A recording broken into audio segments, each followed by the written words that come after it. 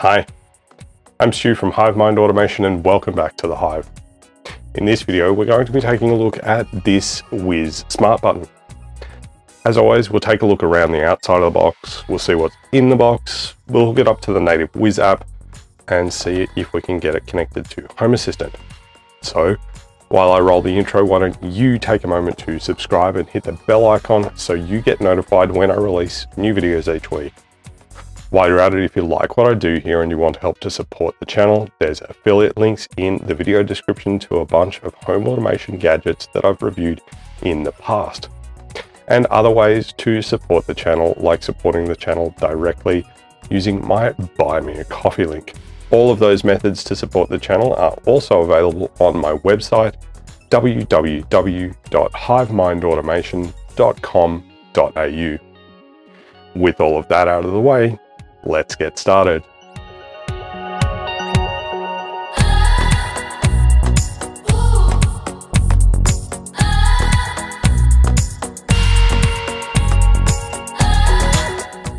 So we're well and truly into an impromptu Wiz series and I was asked in a comment on my very first Wiz video, which is uh, over a year old now, if the Wiz button is any good. So here's my attempt to answer that question. I picked up this Wiz Smart button from Bunnings for $39 and I'm interested to see if it's going to work with Home Assistant, though based on our experience with the Wiz-Mote remote control, I'm not holding out a whole lot of hope. As always though, we will take a look around the outside of the box first. So on the front, we've got Wiz Smart button uh, one click to control your lights, place anywhere, and two pictures of the unit itself. And it says that it controls all connected by Wiz lights. On the uh, right hand edge, lighting control made pleasantly easy with Wiz accessories, control multiple lights, signal range up to 15 meters, so similar to the Wiz-Mote. Works even without Wi-Fi, again similar to the Wiz-Mote. Uh, the perfect ambience at your fingertips, so uh, on, off, and uh, brighten and dim there, wizconnected.com, and it says Wi-Fi connection is required for initial setup. Uh, on the back, we've got a couple of serving suggestions there, so uh, just laying on a table and connected to the wall. And it says instant lighting control for any corner. Uh, and on the left, we've got portable button in multiple languages there.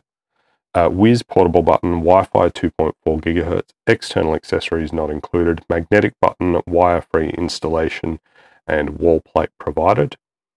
Uh, it takes two AAA batteries and says to use alkaline batteries only. Uh, again, there's the uh, Signify address details there uh, and the dimension details of the button and also of the wall plate. Uh, they're both 64 by 64 millimeters, and we'll see those in a few moments. Uh, on the bottom of the box, uh, compliance details, uh, the recycling data there as well, and it's also got Made in China Signify Holdings. So, as mentioned previously, Signify is the parent company of Philips.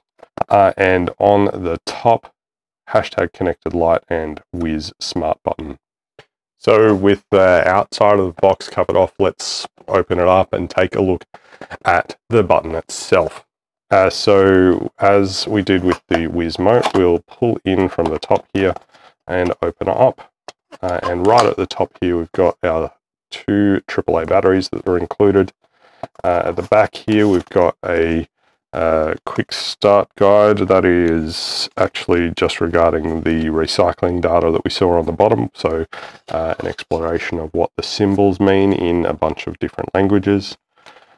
Uh, and we've got the unit and the wall plate itself there. So uh, that's fairly nice. The, the wall plate feels quite good.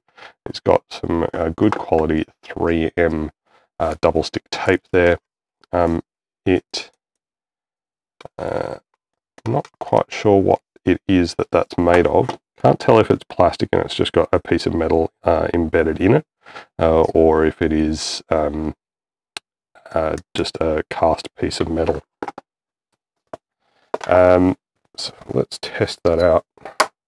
So it is in fact the um, button that has the magnet in there, uh, and the the wall plate is not magnetic.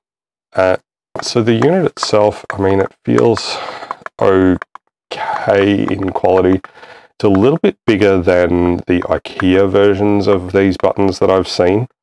Uh, so that's interesting. If I slide the back cover off here, the build quality feels okay. It's a bit plasticky, to be honest. Um, I mean, it's not terrible for what it is. It's just a little bit, it just feels a little bit plasticky.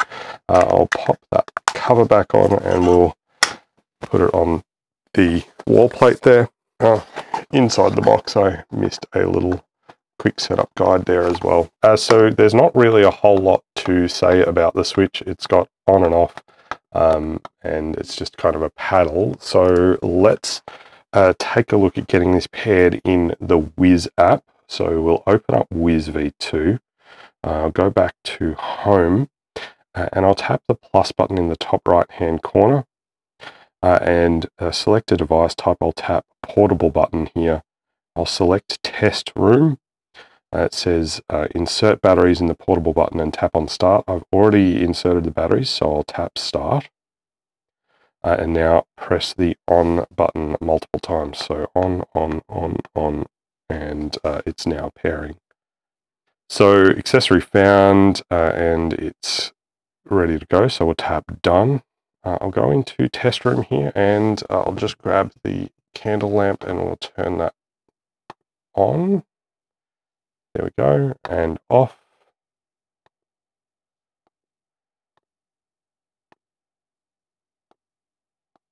Okay, so we do need to, uh, it seems that we need to give it more than just a momentary tap, so it's not super responsive. If I press and hold, we get the dimming function. And doesn't seem to have a function where we can override the dimness. So, I mean, that's down at, you know, something around 10%. It would be kind of good if I use the on function when it's like that if it would uh, just go up to 100% or a predefined value. So I'll go into accessories here and we've got two Wi-Fi remotes. It's not showing the button as a different item than the remote. Really not a good UI. I mean, it works fine. The, the UX design in the Wiz app is not great at all.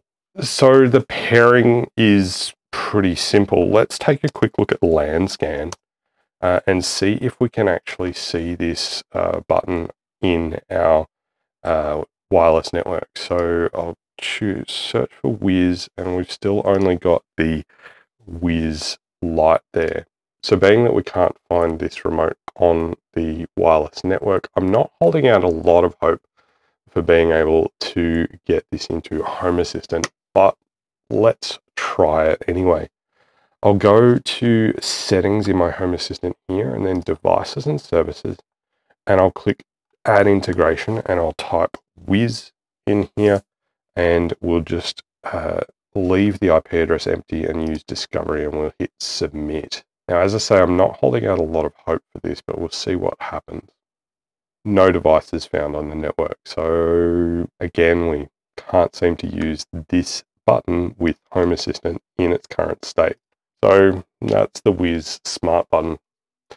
It's really pricey for an on, off, and brightness button, and there's still a problem that it requires 2.4 gigahertz for pairing. In my personal opinion, I think you'd be better off with a $12 TRÅDFRI smart dimmer and a Zigbee bridge like the ConBee 2 or the Home Assistant SkyConnect. Sure, a Zigbee bridge is going to blow the cost out a little, but by the time you get three, four, five buttons at $12 a piece from IKEA versus $39 a piece from Bunnings, you're going to end up ahead pretty quickly.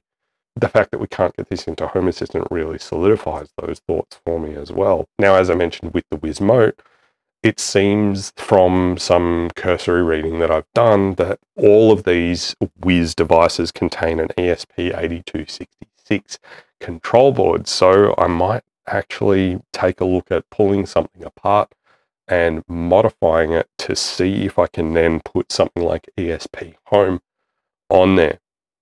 And that would then allow us to get it into Home Assistant and provide a whole lot more functionality. So in summary, I really don't think this smart button is worth $39. I'm experiencing a little bit of buyer's remorse from this. At $39, I really thought this was going to be good, and unfortunately it just isn't. The build quality is fine, uh, but the functionality is just seriously lacking. Let me know your thoughts on the Wiz Smart button in the comments section down below. That's all we have for this video, and I do hope that it helped you in your home automation journey. Be sure to drop a comment down below with home automation ideas you'd like to see me cover in a future video. And don't forget to follow HiveMind Automation on Twitter, Instagram, and Facebook. If you like this video, hit the thumbs up button down below to give it a like. And if you're not already subscribed, please consider subscribing now. While you're at it, if you hit the bell icon, you'll get a notification when I release new videos, and that's normally each week. Lastly, if you like what I'm doing here and you want to help to support the channel, there's a Buy Me a Coffee link in the video description. Contributions that you make through Buy Me a Coffee get put towards making more and hopefully better content for you to enjoy. And there's affiliate link and the Buy Me a Coffee link also on my website, www.hivemindautomation.com.au. Thank you so much for watching. I'm Stu from Hive Mind Automation, and I'm looking forward to seeing you next time. Bye for now.